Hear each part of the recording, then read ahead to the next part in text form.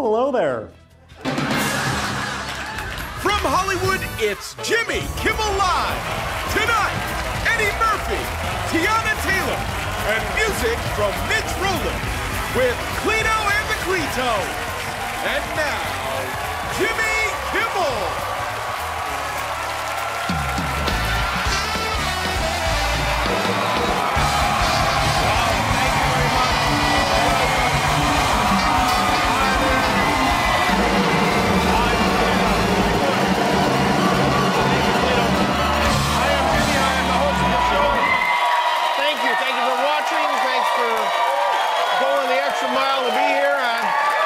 glad in a good mood. Hey, you know, this morning we woke up to what has become a very modern tradition. It's that special time of the year when Spotify takes all the data they've been mining from us and publishes it to increase engagement using proprietary secret algor- algorithms that track our every musical moment. It's what the holiday season is all about now, and they call it Wrapped. Somehow these these Spotify year-end wrap-ups are somehow more embarrassing than your porn search history.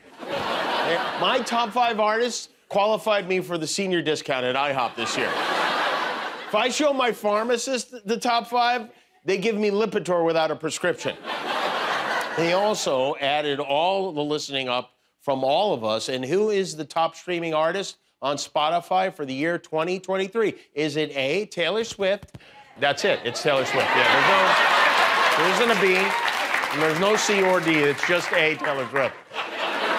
Taylor Swift unseated the guy who held the number one spot for the last three years, Bad Bunny, who will heretofore be known as Sad Bunny. And uh, I got a weird result this year because I have about 11 people sharing my Spotify account. It's always less fun for parents, this thing. It's like, let's see, my top three are Chris Stapleton, Olivia Rodrigo, and Paw Patrol. How is that possible? I do wish I could. I want to see just my info. I would really like to see this kind of accounting for everything I do, not just music. Like, I would love to. You ate 345 slices of pizza in 2023. You lost four sets of AirPods. You brought home 8.3 miles of CVS receipts. You walked into 37 rooms and forgot what you came in for. You got 19,859 emails saying, Greetings, pervert. Unfortunately, there are some bad news. I hacked your webcam and washed your jeans once. So get to work on that. Not only did Taylor Swift move into the top slot on Spotify, she may be moving in with Travis Kelce. Uh, apparently, it was getting too expensive to live in the Kansas City Chiefs luxury box. And so the story, the rumor is that they're moving in together. And while we have no idea if the rumor's true, there was a large white moving truck parked outside Travis's house in Kansas City. So it has to be true. It can't be anything other than that. Gotta be her moving in. But I'll tell you, I'd pay good money to see Taylor Swift's face when she gets her first tour of a football player's house. This is my Scarface poster. This is my Xbox. This is my one clean towel. Meanwhile, everything is a mess in Washington, including our national Christmas tree, which fell over last night due to 40 mile an hour winds. That's the tree. It fell over at around 5 o'clock, and no one got video of it. 300 million iPhones in this country, not one of them was pointed at the White House at 5 p.m. A moving truck outside Travis Kelce's house, that they got, no problem. 40 foot tree almost falling in the White House, nothing. So, this is why nobody believes in UFOs, by the way.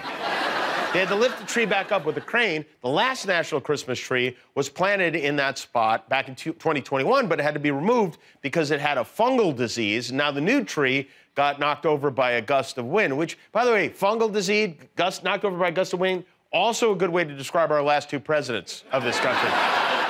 Tomorrow night is the um, big night. Debate nobody asked for. Our governor here in California, Gavin Newsom, versus Florida Governor Ron DeSantis. DeSantis is running for president. Gavin Newsom is not. So why are they debating? It's actually very simple. You know how Mario has an evil version of himself called Wario, and sometimes they randomly challenge each other to a go-kart race? It's like that. The debate is on Fox News tomorrow night. And this isn't the only debate Newsom has on the schedule tonight. In fact, right now, as we speak, Newsom is in Minnesota debating another semi prominent star of the GOP universe, none other than Mike, Mike Lindell from My Pillow. Are we able to pop in on that? Okay, let's just check in on Lindell versus Newsom, which is already in progress. And, and, and that's how, how's it come I'm not allowed within 300 feet of no long John Silver's no more.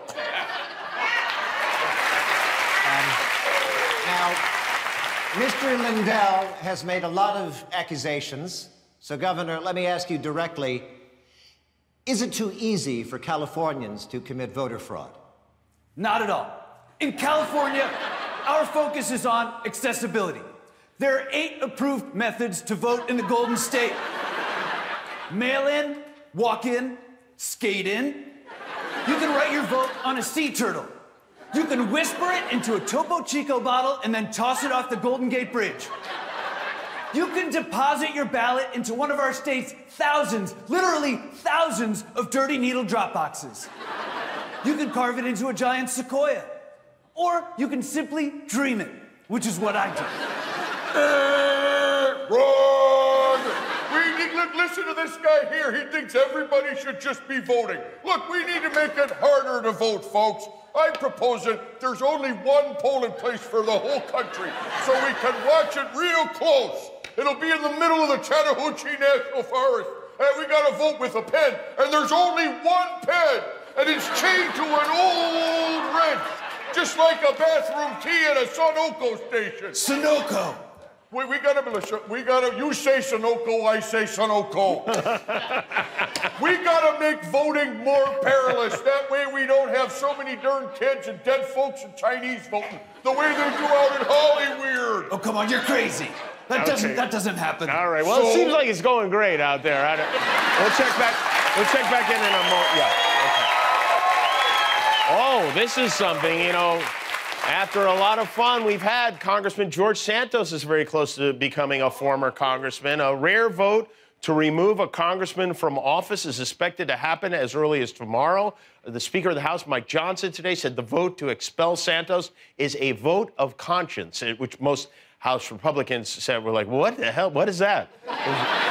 But if he does go, you know, I mentioned the other night, one of the characters I'm going to miss most is this guy, who, George's smiley sidekick, who trots along happily wherever he goes. I don't know what he's going to do. I have to say, last night, even his happiest hype man was feeling pretty low. I ask that all my colleagues in the House consider and understand what this means for the future. And to set the record straight and put this in the record, I will not be resigning. Well, back to living at mom's in New Jersey, I guess. Oh, they are? Okay. Let's go back to C-SPAN. Apparently, think, apparently things are getting pretty heated. Okay, I ain't gonna tolerate no more smack talk from Gabby Newsman over here or his buddies up in Silicon Alley, where they make vaccine microchips and they have fake honkers for the lap dancing gals down at the Sticky Piglet. I got a shout out to Chardonnay and Cashmere. Hey, ladies. Okay, okay, all right, enough, enough. Okay.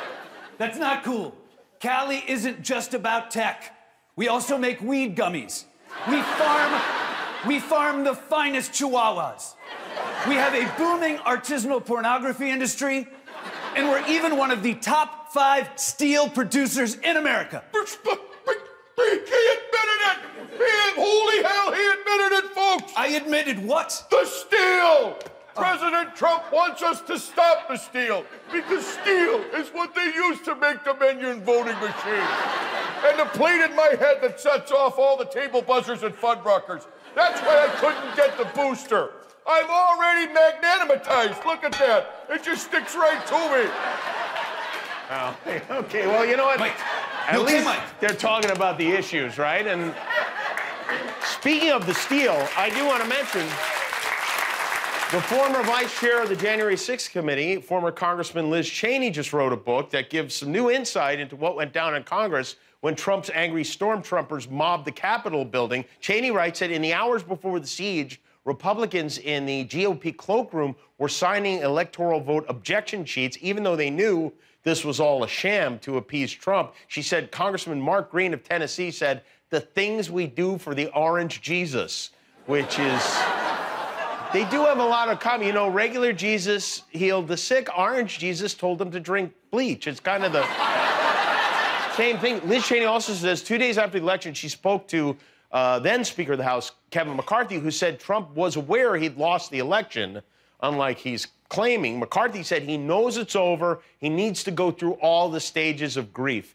and he did. First, there was denial, then anger, then uh, depression, then anger, uh, anger, denial, anger, denial, denial, denial, anger, anger, anger, denial, and finally insurrection. And maybe the most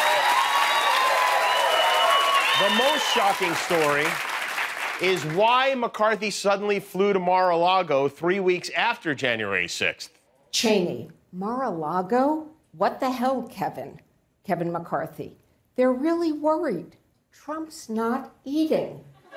Well, now I don't, that I don't believe. That's not. I believe anything other than he's not eating. I have another theory about why Trump was so depressed about January 6th. January 6th is also the day Eric was born. Could be why he wasn't eating, okay? The White House yesterday announced that President Biden plans to email over 800,000 Americans to let them know their student loans have been forgiven if he can remember the password to his Hotmail account. Why he would do this via email, I don't know. You don't forgive big student loans in an email. You go to the people's houses with balloons and a giant check. You make a show of it. It's an election year. Use your head, for God's sake.